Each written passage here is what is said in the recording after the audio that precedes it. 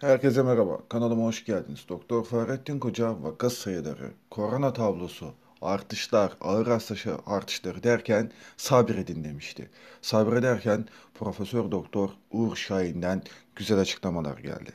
Sağlık Bakanlığı ve bu aşıyı isteyenler bizimle ne kadar çabuk iletişim halinde olup bu uygulamayı başlatabilirsek aşıyı önümüzdeki 2021 yılında hatta bu ayın yani bu yılın Aralık ayında aşı uygulamasını başlatabiliriz diyerekten flash açıklama gerçekleştirdi.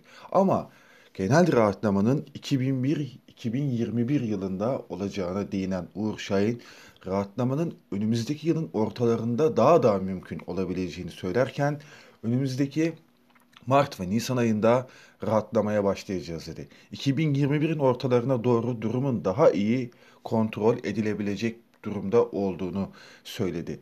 Tabii ki açıklamalarına şu şekilde devam etti. Şahin temas halinde oldukları yetkililerin karar verme süreçlerine bağlı olarak yani bu yetkililer ne kadar çabuk karar verirlerse Aralık ayında insanların aşı olmaya başlayabileceklerini umduğunu söyledi. Yani bu önümüzdeki Kasım ayındayız. Bu önümüzdeki Aralık ayında yetkililer ne kadar hızlı hareket eder, bu anlaşmalar sağlanırsa aşı başlıyor.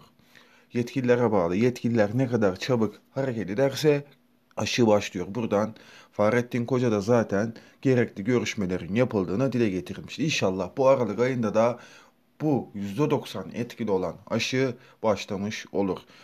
Konuyla alakalı yorumlar sizin. İnşallah vatanımıza milletimize hayırlı olur. Türk doktorumuz Uğur Şahin'in bulduğu bu güzel aşı. Lütfen sosyal mesafe ve temizlik kurallarına uymaya özen gösterelim. Şimdilik hoşçakalın.